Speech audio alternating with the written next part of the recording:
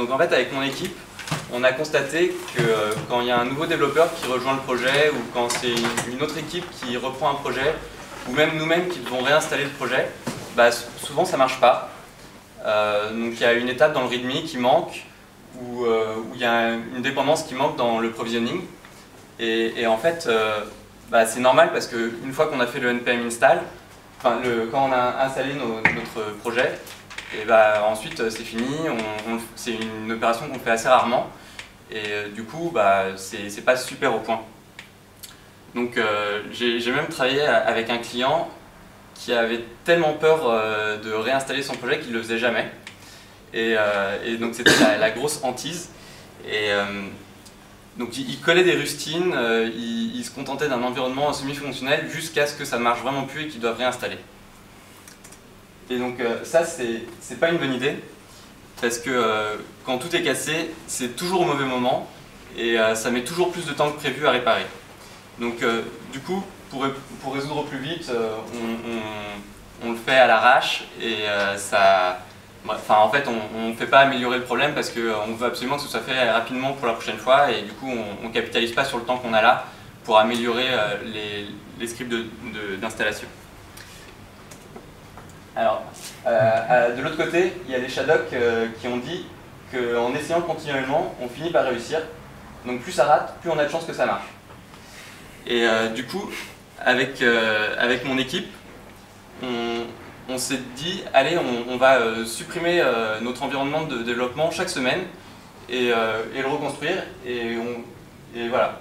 Et du coup, ça c'est vraiment une, une méthode, enfin ça fait vraiment partie de la méthode agile euh, qui, dit qu'il faut euh, répéter les, tâches difficiles pour s'améliorer et pour qu'elles deviennent faciles. Euh, et donc dans ce cadre, enfin du coup, on, s'est mis à mesurer le temps qu'on mettait chaque semaine à réinstaller notre environnement de, développement. Et on s'est amélioré petit à petit sur les moments où ça nous prenait beaucoup de temps, en améliorant le README, en améliorant les scripts d'installation et, de provisioning. Et donc aujourd'hui, on arrive à, installer notre environnement de développement en, une trentaine de minutes. Et, donc euh, on continue encore de s'améliorer. Et donc dans ce cadre-là, j'ai constaté que sur euh, les 30 minutes qu'on passe à, installer notre environnement de développement, euh, on passe pas mal de temps à, faire la commande npm install. Et donc du coup j'ai voulu voir s'il n'y avait pas des moyens d'accélérer un peu cette commande. Alors, euh, j'ai. que, en fait, vous savez qu'on passe du temps quand on fait un npm install. Ce que j'ai fait, c'est que, j'ai installé un, package euh, donc en, mode verbose et puis j'ai regardé euh, pour, chaque étape. enfin, j'ai essayé de classer chaque étape en cinq catégories et, voir un peu où c'est qu'on passe du temps. Donc, on voit que la, plupart du temps est passé à faire des requêtes HTTP.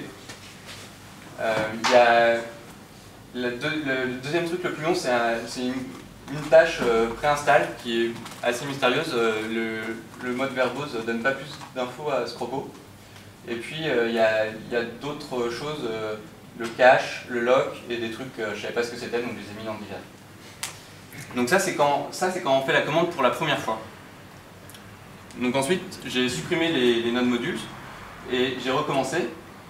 Et donc là on voit qu'on on passe moins de temps à faire des requêtes HTTP. Donc ça, c'est parce que euh, NPM inclut un, cache, euh, donc euh, natif à, NPM, et, en fait, ça permet de, ne pas retélécharger l'archive enfin l'archive du package quand on l'a déjà téléchargé. Alors, pour vous expliquer comment ça fait pour gagner un petit peu de temps, on a un client NPM euh, et une registry, donc euh, c'est npmjs.org, dans lequel il y a tous les, enfin, qui, stocke euh, tous les packages. Et ce que fait le client NPM, c'est qu'il fait une requête à l'URI du, package en question, et la registry retourne une balise entité e-tag. Donc un e-tag, c'est un identifiant unique qui est propre à la ressource à laquelle on, enfin, à la ressource euh, du, enfin, le, à l'Odash, là, euh, le, package, et ça change à chaque version de l'Odash. Du coup, quand le, client, si, le client connaît le e-tag et qu'il l'a dans son cache, il sait qu'il peut utiliser la version du cache et il n'a pas besoin d'aller faire la requête de l'archive sur la registry. Et s'il ne l'a pas, bah, du coup, il, requête le tar et puis il, stocke le e-tag. Comme ça, la prochaine fois, il n'aura pas besoin de, de demander. Enfin, il n'aura pas besoin de prendre le tar. Et donc, euh, du coup, on voit, donc là, je, vous ai remis la slide avant, euh, on voit que ça fait gagner un petit peu de temps. Euh, alors moi, j'étais un, peu surpris, je pensais que ça ferait gagner beaucoup plus de temps. Et en fait, ça, permet de gagner une requête HTTP, mais il y en a d'autres. Donc, il y a une requête d'authentification, il y a une requête pour recevoir le e-tag, et donc, du coup, bah, tout ça, ça fait qu'on ne gagne pas tant de temps que ça. Donc, ici aussi plus. Pardon? Donc divers aussi, on en a plus. Ouais, absolument. J'ai pas regardé pourquoi, mais euh, j'imagine qu'il regarde. Euh, enfin, il, fait plus de. J'ai nettoyé peut-être Ouais. J'ai pas, pas regardé plus en détail ça. Ce qui m'intéressait, c'était vraiment de, de, voir où je pouvais gagner du temps. Et je me disais que sur les requêtes, on pouvait euh, gagner plus de temps. Donc, la solution que vous utilisez peut-être déjà en déploiement, c'est faire une archive des node modules et puis euh, ensuite, quand, vous installez euh, la fois suivante, bah, vous, décompressez l'archive, euh, et puis vous passez les, commandes npm prune et npm install. Et, du coup, vu que c'est déjà dans les nodes modules, ça va pas faire, ça va même pas faire une seule requête HTTP. c'est intelligent, ça voit que le, package est déjà installé. Donc là, pour le coup, ça fait gagner énormément de temps. Mais ça, ça répondait pas à mon problème, parce que moi, quand je réinstalle mon environnement de développement, euh, j'efface mon file system, donc euh, je ne peux pas avoir d'archives. Donc du coup, c'est pour ça que je me suis intéressé à, Nexus. Donc en fait, euh, Nexus, comme Fabien, Étienne le disait, pardon, c'est un, truc qui est à la mode dans les banques, c'est là que je l'ai découvert. c'est un repository manager. Ça, ça, veut dire qu'avec Nexus, on peut euh, mettre en place des, des registries comme euh, celle de npmjs.org et euh, les configurer, et, ça de manière très facile. Et donc ça, ça marche avec npm, mais ça marche aussi avec Docker, avec Java, et puis plein d'autres, enfin il y a tout, tout, type de registries. Et donc le principal usage qu'on peut faire de ça, c'est pas de gagner du temps sur le npm install, mais euh, c'est plus de gérer des packages privés euh, qui ne sont pas dispo euh, sur Internet. Et voilà. du coup, je vous ai mis une slide pour vous montrer comment l'installer et le configurer. Souvent, enfin, moi, de, manière générale, j'ai un petit peu peur quand on parle d'un truc repository manager. Ça, me fait un petit peu peur. Je me dis que ça va être long à installer et à configurer. Là, j'aimerais vous prouver que ça ne l'est pas. Euh, aujourd'hui, on a quand même des, outils qui permettent d'installer euh, très rapidement des, technos. Euh, donc là, il y a, une, image Docker officielle de, de, Sonatype qui développe Nexus. donc en une commande Docker, on a le Nexus qui fonctionne en, local. Et donc on n'a plus qu'à accéder à, l'interface web et on, peut mettre en place comme ça une registry NPM. Euh, l'autre manière de faire, euh, avec des scripts Ansible, là encore, en une command line, il y a, les, playbooks qui existent déjà pour ceux qui connaissent Ansible. Euh, donc en, une commande Ansible, on a installé notre, notre Nexus. Et donc ensuite, il reste à configurer le Nexus pour créer une registry NPM. Et donc là, j'ai fait un, petit article de blog le mois dernier pour configurer Nexus. Donc euh, je ne vais, pas le faire devant vous, euh, ça n'a pas grand intérêt, mais si, ça vous intéresse, vous pouvez aller regarder l'article. Et j'ai fait une petite vidéo euh, pour remplir les 5 champs du formulaire qu'il faut pour mettre en place une registry NPM. Et donc la dernière étape pour faire marcher ce Nexus avec NPM, c'est de dire à NPM de ne plus pointer sur la registry de npmjs.org, mais euh, de bien pointer sur le Nexus. Et donc pour ça, il y a un, fichier de configuration qui est euh, à la racine euh, du home de l'utilisateur, qui s'appelle .npmrc. Donc si, si vous n'y avez jamais touché, il contient une ligne avec registry égal, et puis là, il aura registry.npmjs.org, qui est la, registry par défaut de NPM, et donc que vous pouvez changer pour aller pointer sur le Nexus. Et si vous ne voulez pas que, que, ça utilise Nexus à chaque fois que vous faites un npm install, vous pouvez utiliser l'option registry en spécifiant l'URL. Donc du coup, on peut... Ouais, alors là, c'était au cas où j'étais pas très clair. Euh, pour, pour, bien vous expliquer que euh, donc Nexus, là, il se met entre le client NPM et la registry. Euh, quand on configure Nexus, on lui dit de pointer sur la registry npm.js.org. Et puis du coup, quand, quand le client réclame un package, il passe par Nexus. Et Nexus regarde dans sa base de données de package s'il est dispo. Sinon, il fait la demande à la registry euh, sur Internet. Et comme ça, la fois suivante, il n'y a pas de requête HTTP. Enfin, pardon, il y a des requêtes HTTP, mais pas sur Internet. Donc si on regarde les résultats, euh, on voit qu'on gagne encore du temps sur les requêtes. Donc euh, moi j'ai fait mes tests sur une connexion ADSL qui est assez moyenne. C'est bien sûr là tous les résultats que c'est très dépendant de la connexion internet qu'on a. Et donc, euh, avec une connexion ADSL assez moyenne, j'ai gagné 30% euh, du temps sur les requêtes et ça faisait gagner 10% du temps euh, sur le npm install. Donc c'est pas révolutionnaire, j'espérais gagner plus de temps. Et en fait, on voit que bon, on gagne un peu de temps sur les requêtes, mais il y a toujours un, temps relativement long. Et puis on, ne gagne pas de temps sur toutes les autres étapes qui se passent pendant le npm. Donc j'ai pas encore de... Ouais si le repo n'est pas trouvé sur, euh, dans, le, registre Nexus, il va chercher sur le truc euh, standard, c'est ça? Ouais, absolument. Et il y a moyen de faire chaîner les Nexus ou je sais pas, d'en avoir plusieurs? Bah, je vois pas pourquoi ce serait pas possible. J'ai pas essayé, mais euh, il n'y a pas. Enfin, ça. À partir du moment où ça marche pour l'un, si, si le deuxième reçoit une requête, il va procéder de la même manière. Euh, voilà, donc euh, du coup, bah, j'étais un, petit peu déçu des, résultats, mais euh, malgré tout, j'en suis assez content parce que, par exemple, la semaine dernière, j'étais dans le train, j'avais pas internet et j'ai pu faire un npm install sans, sans, connexion internet. Donc on n'est pas bloqué avec ça, surtout quand, en tout cas, je, je vis au travail avec une connexion internet intermittente, donc c'est vraiment confortable. Euh, après, sur le, gain de temps, euh, j'avais choisi le nom de mon talk euh, avant, avant de faire toute cette analyse, donc c'est pas révolutionnaire. Et j'ai pas encore de trouvé de, solution de gagner significativement du temps sur le, NPM install.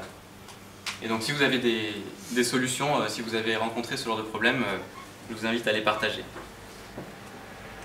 bah, voilà, je vous remercie pour votre attention et n'hésitez pas si vous avez quelques questions.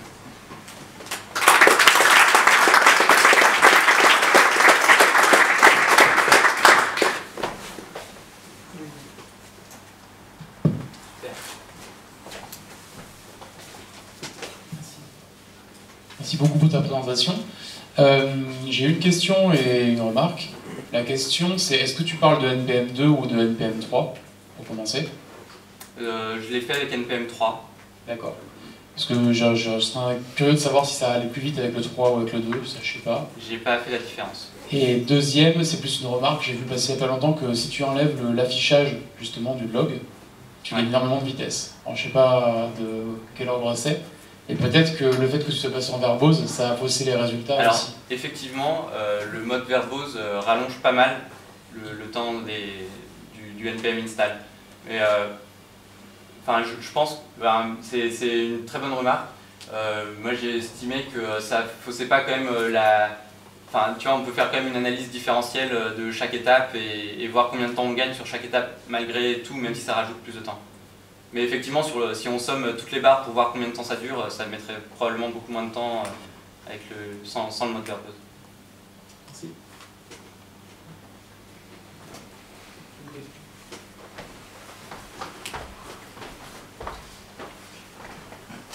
Du coup, euh, je rebondis sur la question. Euh, avec Nexus, est-ce que le mode verbose est moins important?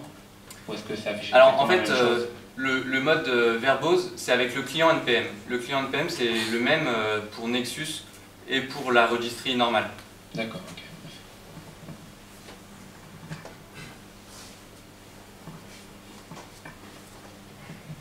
Euh, moi, je voulais savoir si euh, Nexus il gérait le HTTPS. Ouais, euh, sans problème, ouais. Ok. Il n'y a pas de certificat installé ni rien Alors, il y a des options dans, dans, les formulaires. Il y a des certificats par défaut pour aller sur npmjs.org. Et entre npmjs et le client, ça, j'ai mis une option true ou false et ça marchait. J'ai pas investigué plus que ça, mais en tout cas, j'ai fait mes tests avec HTTPS. Euh, ok, merci.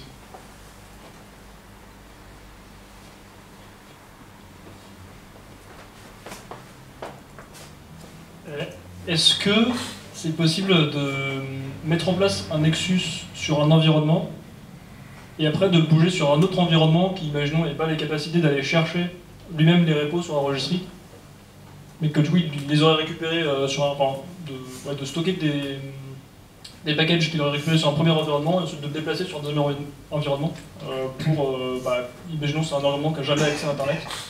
Ouais, alors euh, bah, ça c'est, en fait j'aurais pu en parler plus.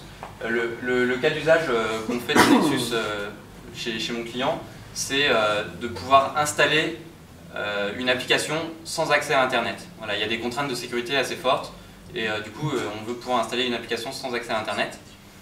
Et euh, du coup, enfin, oui, c'est totalement possible et c'est d'ailleurs euh, à ça que ça sert. Et tu disais euh, déplacer? Enfin, genre, tu te demandes si, si on, on, met des packages sur un. Enfin, quand Nexus est sur un serveur et qu'on veut le déplacer sur l'autre, est-ce que c'est possible? Ouais, c'est ça. Bah, en fait, ça, ça, écrit, enfin, ça garde les packages dans le file system, donc à partir du moment où tu déplaces les dossiers où sont stockés le Nexus, il n'y a, a, pas de problème. Merci.